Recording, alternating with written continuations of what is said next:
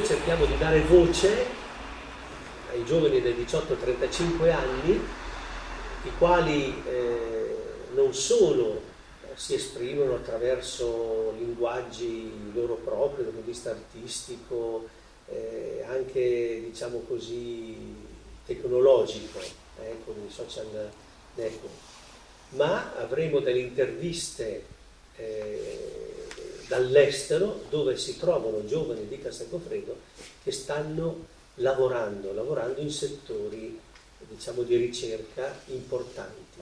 Ecco, questo eh, ci fa onore ecco, per dire che Castelgofredo non è solo qui a Mantova o tra Mantova e Brescia, ma Castelgofredo è nel mondo ed è nel mondo non soltanto con la calza, ma è nel mondo con le sue intelligenze. Ormai, ecco, per eh, il giovane, eh, l'orizzonte non è più il semplice paese, nemmeno la provincia, l'orizzonte è il mondo.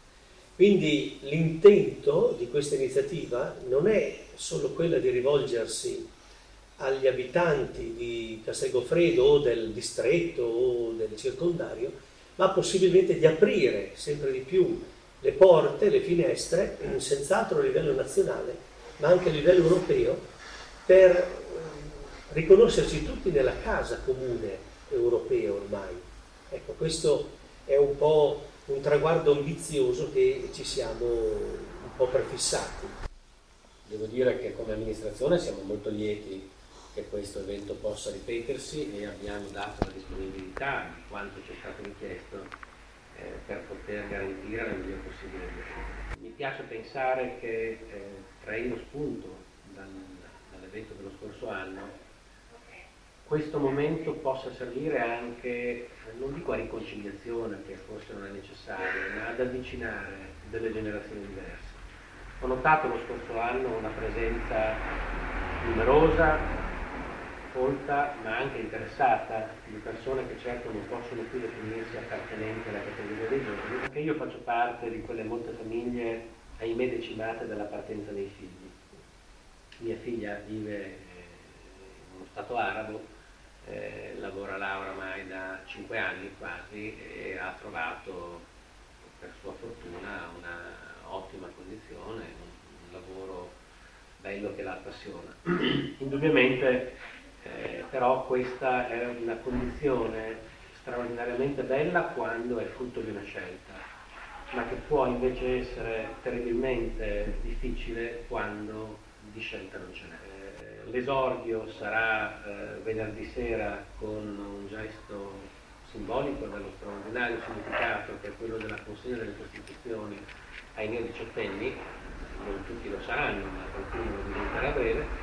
Ehm, che appunto è una qualche, una qualche sorta di dire, esordio in società. Le attività poi si articoleranno nei giorni successivi su molti diversi, su molti diversi argomenti, molti diversi tasti.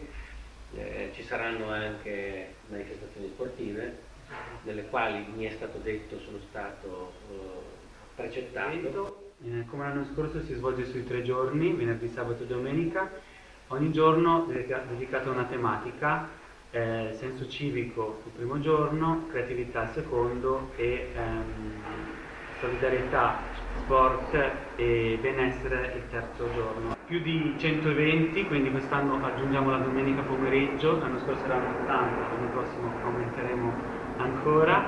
Eh, quindi molte cose, ma la politica del, del festival è questo, dare tante possibilità e ognuno poi sceglie cosa andare a vedere, col fatto che alcuni eventi vengono ripetuti, quindi il pubblico potrà crearsi il proprio programma rispetto anche ai propri interessi o alla propria voglia di approfondire determinate tematiche. I Master Gap, che sono degli incontri di approfondimento, ognuno su una tematica precisa, eh, dove verranno, come dire, mh, approfondite determinate tematiche con esperti anche castellani e non, quindi giovani che si mettono in prima linea a ehm, raccontare la propria esperienza professionale in certi casi o di passione in altri.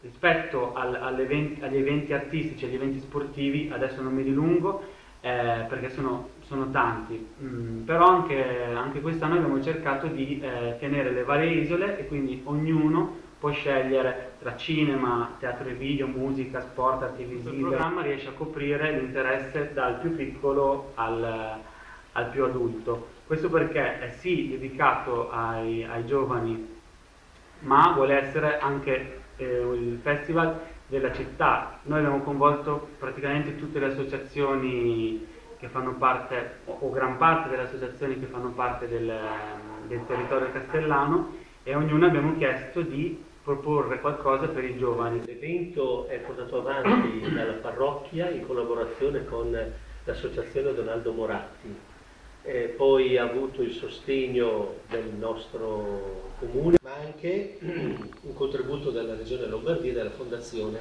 della Comunità Mantovana, oltre che eh, un sostegno da parte della diocesi con il settore della pastorale giovanile. Grazie. Allora non rimane che godersi il